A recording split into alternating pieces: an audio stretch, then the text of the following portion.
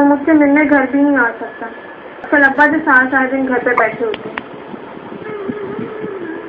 छोटी सी बात पर अब्बा ने हाथ पा दिया।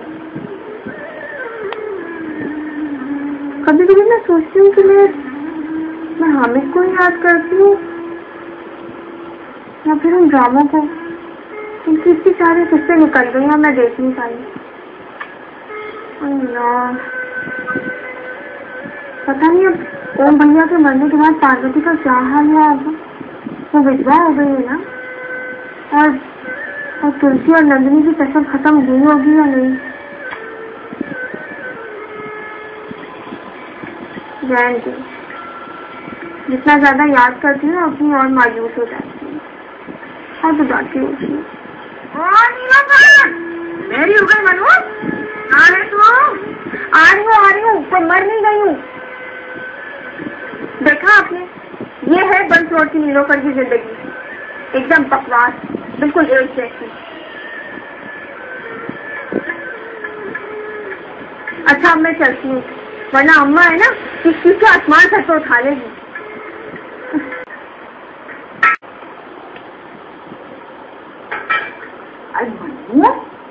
ये कैसी जली कटी टेढ़ी मेढ़ी रोटियाँ पा रही है तूने?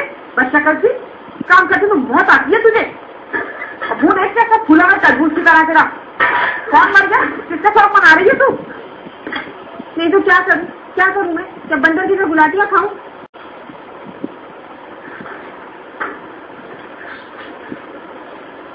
और बात सुन लो, अम्मा। मुझे ये सौ संडे का नाश्ता रोज रोज नहीं होता है। आधा दिन गुजरता है कि मेरे पेट में छिटी पिटी आवाज़ें आने लगती है। मुझे तो बस कुलचे निहारी मंगा दिया करो, या फिर मलाई पराठा। मुझसे नहीं खाया जाता ये सब। तुम तो हो जाएगी तू, समझी? और बात सुन, ये कुलचे और पराठों का शौक ना वाली लड़कियों को अच्छा नहीं लगता ये नहीं पालना चाहिए। एक दफ़ा तेरी शादी हो जाए ना, बस जो दिल में आए तेरा खाना खींचना अरे शादी से पहले मैं ऐसी दुबली पतली थी। ये ठंडा सी कमर थी मेरी। अम्मा, अब इतना झूठ मत बोलो। शादी से पहले की मैंने देखी है तुम्हारी तस्वीरें। मुझसे तो ज़्यादा मोटी थी तुम। और वो जो तुम छोटी छोटी अच्छी पनीरें पहना करती है, उसमें मोटे मोटे तुम्हारे बाजू नज़र आते थे। तो ज़्यादा बेहूद गिना नाकर अच्छा? काम में दिल नहीं लगता है? कल को शादी हो जाएगी ना तेरी तो सास में गालियाँ देंगी तुझे बुढ़पन का पाना देंगी। कोई नहीं मैं तो ऐसे घर में शादी करूँगी चाहे सास नंदों की पखराटी ना हो। हम निकलने के तेरी किसी यकीन यकीन से शादी। नीलोफर तेरा कोई चक्कर बक्कर तो नहीं है ना? नहीं नहीं अल्लाह पाक की कसम कोई चक्कर वक्कर नहीं है। किसी से कोई चक्कर नहीं है। अल्लाह के वास्ते नीलोफर जल्दी काम में हाथ लगा। तेरा बाप आ जाएगा ना अभी। उसे आती भूखे लगनी शुरू हो जाती है। मुझसे सुनी जाती उसकी बकवास। फिर तुम्हें खसारियों के संग भैया की याद सताने लगी। और तेरा अब्बा तो आधी रात को घर आता है। हाँ ना। फिर तो तू सारा दिन घर में अकेली रहेगी ना। ऐसे तो फ़िक्र कर। मैं तेरे पास आ जाएगा आखिरा वो अपने घर में मेरी और हामिद की मुलाकात करा देना दफ़ा ज़मीन ये है समझ रही थी, मैं समझ रही थी मरने जोगी, कि ये मेरी तन्हाई के गम में परेशान हो रही है। मुझे क्या पता था? कुदरत देंगी आखिरा मिला देना नहीं हरगिज नहीं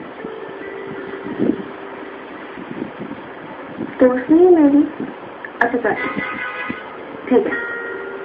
अपने केबल ऑपरेटर को कहना जुमेरात को शाम को आ जाए घर लेकिन अब रोज रोज का तमाशा ना बना लेना।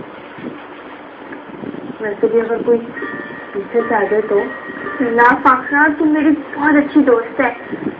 तुम ना मुसीबत के वक्त में काम आने वाली है? हाय। तो उल्टी आती है वो तो शहजादी उतार दो इसको। अल्लाह किसी ने देख लिया तो। कौन देखेगा मेरे अलावा? या चंद बतखे हैं यहाँ पे? अच्छा। हाँ हाँ उतार लो। है भी ऐसा सड़ा हुआ। गंदा।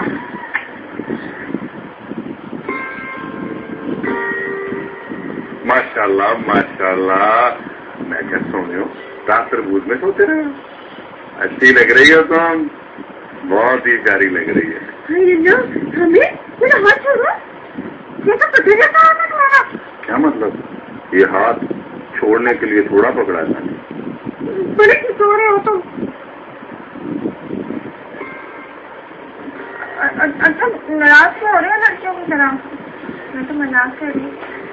अच्छा तुम्हारे अब्बा से बात करूँ? हाँ ना ऐसा कुछ मत करना। तुम्हें क्या पता नहीं है मेरे अब्बा कितने पुराने ख्याल के माने थे खुद भी तो काफ़ी पुराने हैं। तो देख लेना अब्बा छूटते सबसे पहले तो ये कहेंगे कि केबल की कमाई ना है असल में बात में कि मेरे अब्बा जो है ना, वो मेरे फुफीजाद भाई सादुल्ला से मेरी शादी करना चाहते हैं। टंडू आदम में रहता है वो। अब भला देखो, उस जगह का नाम ही कैसा टंडू आदम। खुद भी वो वैसे ही है, टंडू आदम। और अभी तो दो महीने बाद में मेरी नाक से बोलने वाली पुप्पो नाजिल होने वाली है। पता है वो इतना ज़्यादा नाक से बोलती है? खैर, नाक से तो मैं भी बोलती हूँ, पर वो तो इतना ज़्यादा इतना ज़्यादा नाक से बोलती है कि खुद उनकी समझ में नहीं आता कि क्या कह रही है। चलो दफ़ा करो। सुनो तुम जो बस मुझे बातों पे ही रखाओगे फांटा नहीं खिलाओगे? क्यों नहीं शहजादी? हाँ छोटे अब तो काफ़ी बड़ा हो गया ये। एक फांटा लाओ। नहीं एक नहीं मैंने दो पीनी है। पहले एक तो पी लो। आ, दो बर्गर लाओ। क्यों? तुम नहीं खाओगे? आ, तुम्हारी बातों से ना मेरी भूख मर गई है। ओए, तू तो चल। क्या काम लगा के बातें सुन रहा है? जल्दी ले गया।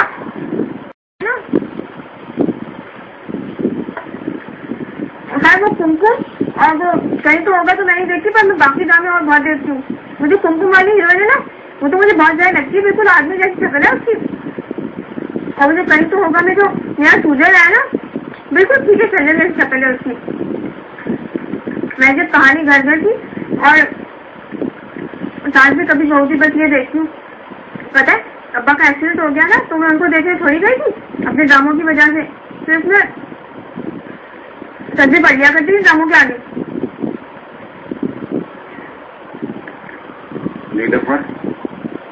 तो ये पता है मेरा दिल क्या चाहता है? मेरा दिल चाहता है कि मैं अपनी केबल पर से तेरे ना ये जो सितारे वाला चैनल है ना इसको मिटा दूँ। हाँ ना बकवास ना करो। शुक्र है, हमारे बंधुओं में भी सितारे वाला चैनल आ रहा है। मैंने तो सुना, और इलाकों में लालू के नौजवान में कहीं भी नहीं आया अरे ये देखो फांटा भी खत्म हो गई। सुनो, मुझे दूसरी फांटा मंगा दो। और जो वो लड़का आया था ना, उससे को मुझे तली हुई मछली ला दे। कसम से ये बर्गर बिल्कुल ही मज़े का नहीं था, बहुत ही बकवास था। क्या हुआ? मुझे न खा जाना। मज़ाक कर रहा हूँ मज़ाक कर रहा हूँ जी जी जी अभी मैं बात हूँ छोटे छोटी सी मछली लाओ और एक फांटा लाओ जमा दी थी जमा आ रही थी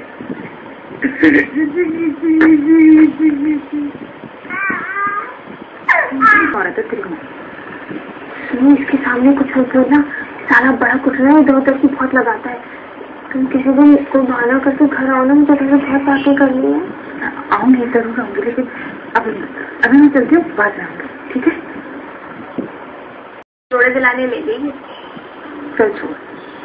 वैसे भी आज मेरा मूड बड़ा खराब है। आज सुबह मैंने हामिद को देखा था सीढ़ियों पर बैठे हुए। आगे भी तो सुनना। वो ना बहुत उदास था। बिल्कुल निचला हुआ लग रहा था। इतनी इतनी शेर पड़ी थी बड़ा दर्द आया मुझे उसकी से। वो- ना साखरा उसने मुझे रुका लिखा था। कब? मैंने उसका जवाब लिखा है। तू उसे पहुँचा देगी। अल्लाह तेरा बड़ा एहसान होगा आ, ठीक है बहुत